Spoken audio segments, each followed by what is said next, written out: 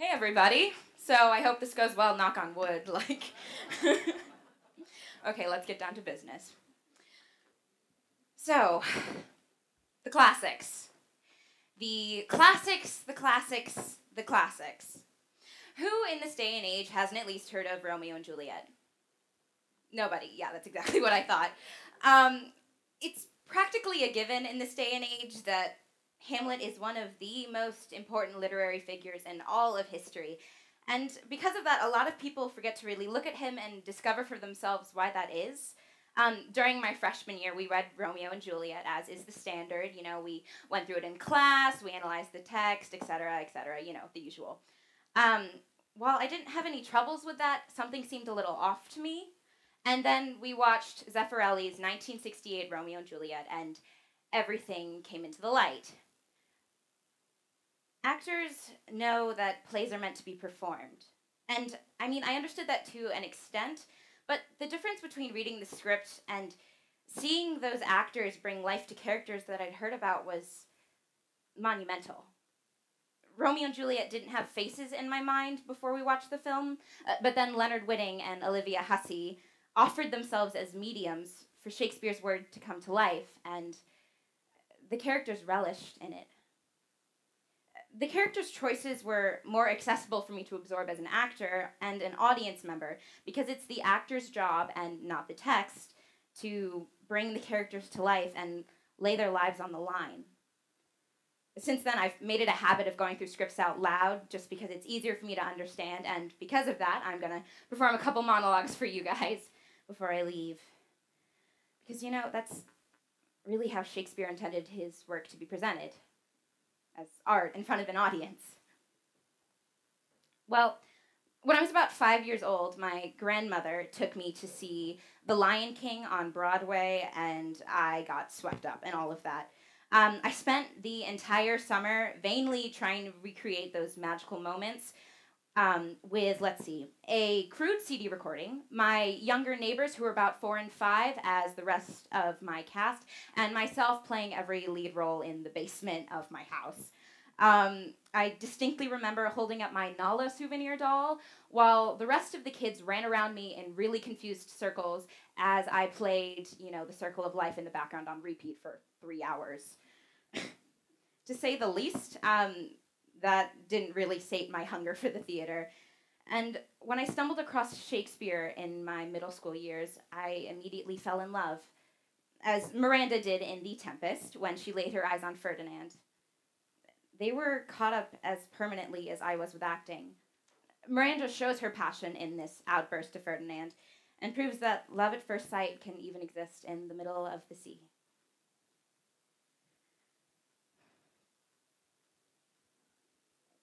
One of my sex no woman's face remembered, save from my glass mine own.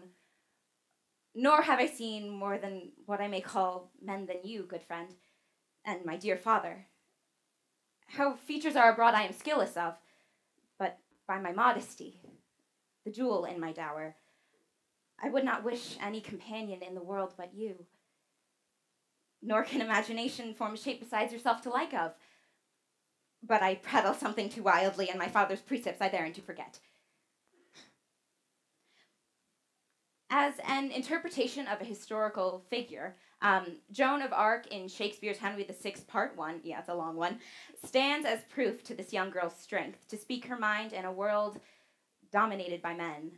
This has always been an inspiration to me as a female actress to trust in myself and stand up for my artistic beliefs.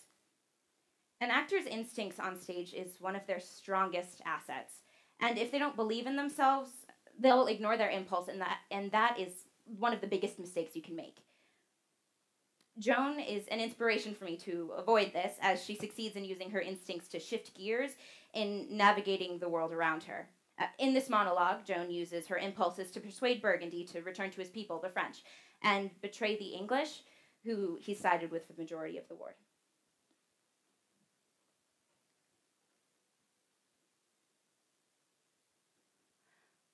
Look on thy country.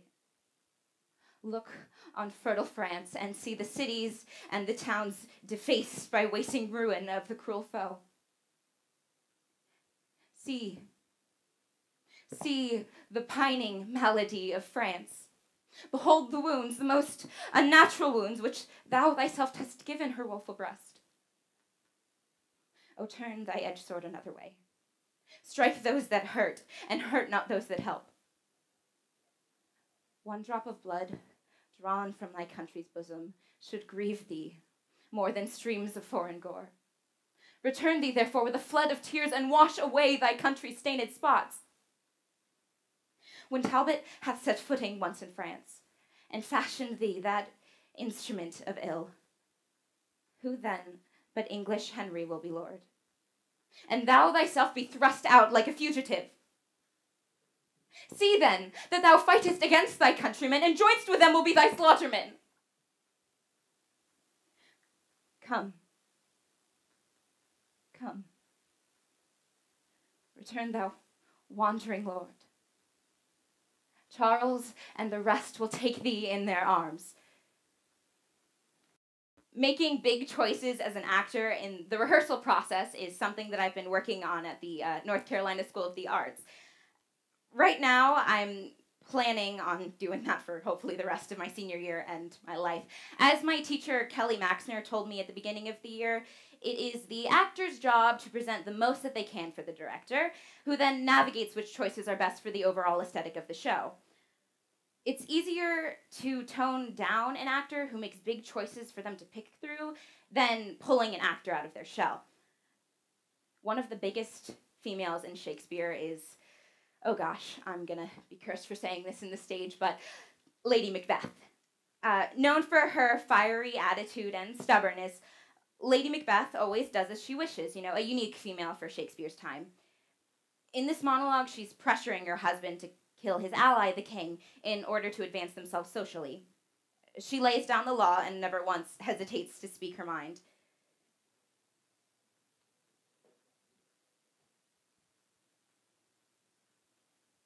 He is almost sobbed. Why have you left the chamber? Was the hope drunk wherein you dressed yourself? Has it slept since? And does it look now so freely at what it did, which is now green and pale? From this time such I account thy love. Art thou afeard to be the same in thine own act and valor as thou art in desire? Wouldst thou have that which thou esteemest the ornament of life, and live a coward in thine own esteem, letting I dare not wait upon I would, like the poor cat in the adage? What beast was then that made you break this enterprise to me? When you durst do it, then you were a man, and to be much more than what you were, you would be so much more the man. Nor time nor place then adhere, and yet you would make both. They have made themselves, and their fitness now does unmake you. I have given suck, and know how tender 'tis to love the babe that milks me. I would, while it was smiling in my face, have plucked my nipple from his boneless gums and dashed the brains out, had I so sworn as you have done to this. If we should fail, screw your courage to the sticking place and will not fail. When Duncan is asleep, or to the rather shall his day's hard journey soundly invite him. His two chamberlains will I with wine and wassail so convince that memory, the warder of the brain, shall be a fume, and the receipt of reason a limbic only. When in swinish sleep their drenched nature lies as in a death, what cannot you and I perform upon the unguarded Duncan? What not put upon his spongy officers who shall bear the guilt of our great quell? And who shall dare receive it other? As we shall make our grief and clamor roar upon his death. A uh, stark contrast to Lady Macbeth.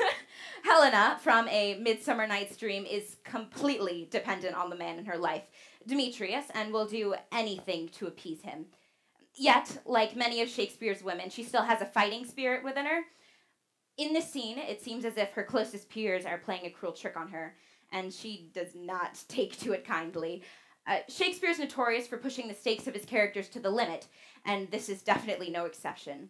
It's always life or death to them. And it's important for the actor to take note of that. Although Helena's life is never actually threatened, uh, she states that death is one of the only solutions left to her. Even though it's a bit extreme, um, she's completely serious, uh, which attests to her commitment. Likewise, commitment to the scenes that for an actor should always be automatic. Uh, acting ensembles succeed best with a base of trust in them. And in, in improv work, um, when an ensemble member doesn't try to be present on stage, they leave the rest of their actors hanging. The same idea applies to monologues with the actor's relationship to the characters and their surroundings.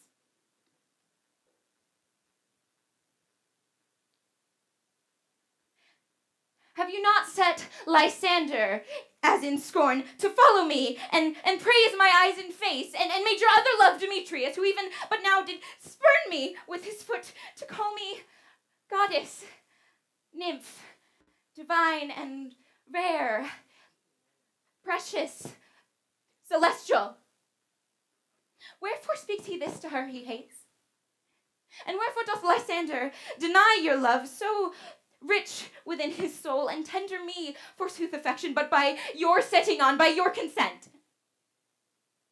But though I be not so ungrace as you, so hung upon with love, so fortunate, but miserable most to love unloved, this you should pity rather than despise. I do persever Counterfeit, sad looks make mouths upon me when I turn my back, wink at each other. Oh, the sweet dressed up. This sport well carried shall be chronicled. If you had any pity, grace, or manners, you would not do me such an argument. But fare ye well. Tis partly my own fault, which death or absence soon shall remedy. She gets a little overdramatic.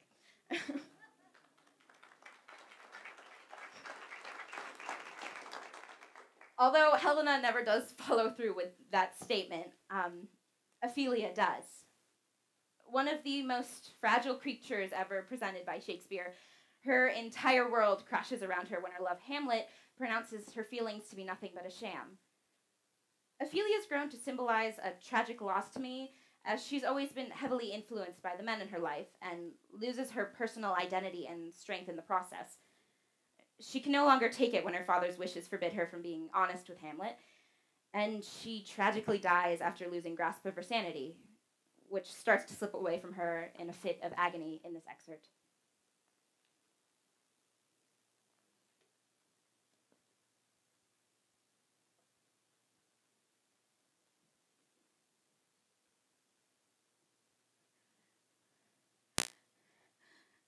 Oh.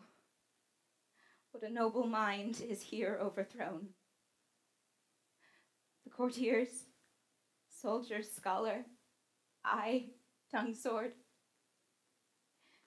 The expectancy and the rose of the fair state, the glass of fashion and the mold of form. The observed of all observers. Quiet, quiet down. And I of ladies most deject and wretched that sucked the honey of his music vows. Now see that noble and most sovereign reason, like sweet bells jangled out of tune and harsh.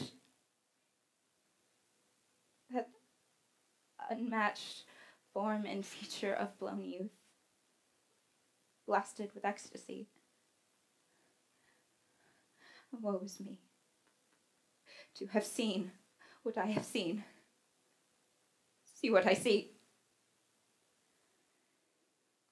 Whew. that doesn't get any better for her, to be honest. That's it's just downhill from there. um, from just the five women I've barely touched on in this presentation, Shakespeare shows that many different aspects of females in which we can appreciate his intricacies in writing with the real magic lies in the presentation of his work, a task given to grateful actors across the world. We're given the opportunity to breathe life into characters that would simply disappear if they were never presented in the way that Shakespeare had wanted. And that's not the end of it. What is a performer without their audience?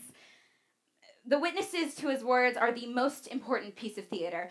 Otherwise, the story made to be shared would be lost before I leave, I wanted to thank you all. Without you guys here, the art of theater would be missing as well. and I hope observing the experiences of Shakespeare's characters is as fulfilling to you as it is for the people it hidden in his text. Who knows? Maybe you'll learn more about yourself as a person while you watch these characters discover themselves in the most unusual of situations. I know I did. Thank you.